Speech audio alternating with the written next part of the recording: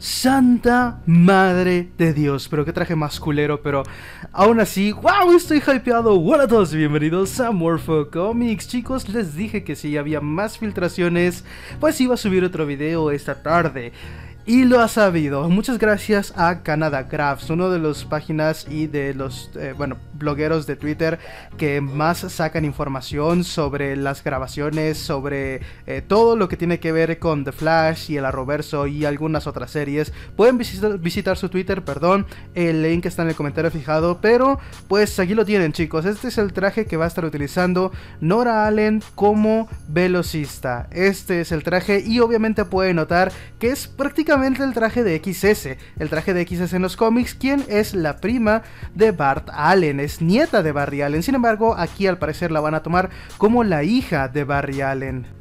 Esto ya prácticamente lo habíamos pensado la primera vez que vimos este traje, pero lo estaba utilizando Iris West durante la cuarta temporada de The Flash y ahora tenemos el debut de Nora Allen con su nuevo traje de velocista, que la verdad no se ve tan genial como, como a mí me hubiera gustado, pero vamos, se, ve, se ve lindo porque es Jessica Parker Kennedy, es, e, es, genial, es genial la actriz.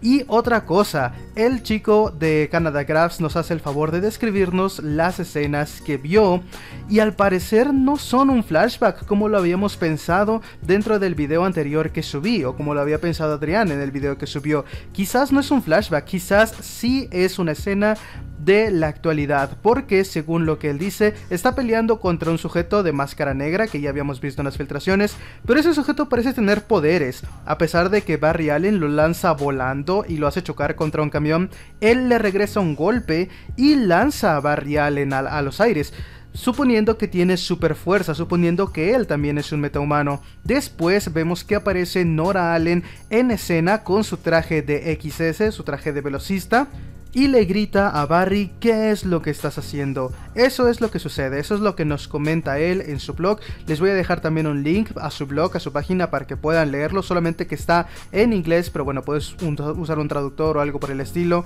La cosa es que, según él comenta, no estaban dejando mucho ver estas escenas, realmente querían mantenerlas, pues digamos, en secreto, pero al parecer no hicieron un buen trabajo porque ese chico pudo sacar las fotografías, pudo hacer pues prácticamente todas estas filtraciones y la verdad lo agradezco mucho porque, wow, realmente me explotó la cabeza, ya no sé ni qué pensar y probablemente vayamos a ver el traje de XS dentro del tráiler de la Comic Con, el cual es el próximo sábado. Estoy casi seguro que vamos a ver el traje de XS, pero wow, la verdad no puedo creer que realmente hayan hecho y en el primer primer episodio no se ha visto a Kenan Lonsdale, desafortunadamente no se ha visto a Wally West junto con ellos. Realmente me hubiera gustado ver un team up de esas tres personas, de esos tres personajes.